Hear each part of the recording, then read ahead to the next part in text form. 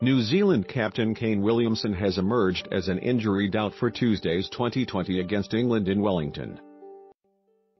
Williamson revealed at his pre-match press conference that he was feeling soreness in his back.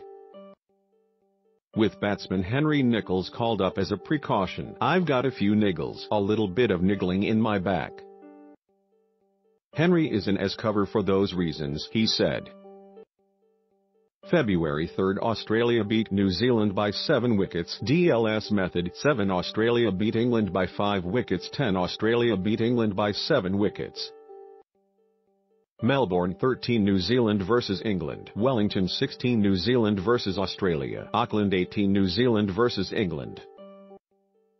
Hamilton 21 Final. Auckland I'm looking forward to taking a full part in training and hope I should be fit for tomorrow. Williamson's opposite number England skipper Eoin Morgan has question marks over his involvement after missing the previous match against Australia.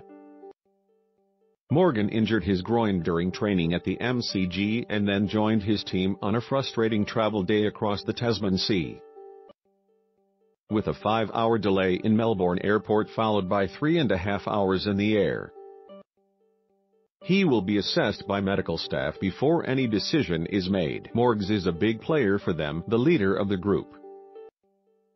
But at the same time they'll be backing their depth. They have lots of exciting, talented players and with Joe stepping up from vice-captain they be backing themselves. Only one of New Zealand or England can join Australia in the final of the Tri-Series with Australia winning the curtain raiser against the Black Caps followed by back-to-back games against Morgan's men. It's a big opportunity for us and for England, he said. We want to get on the board in the Tri-Series and it's very important we play good cricket. We know England are a dangerous side. Australia have got off to a great start and come up with the wins but that doesn't make England any less dangerous.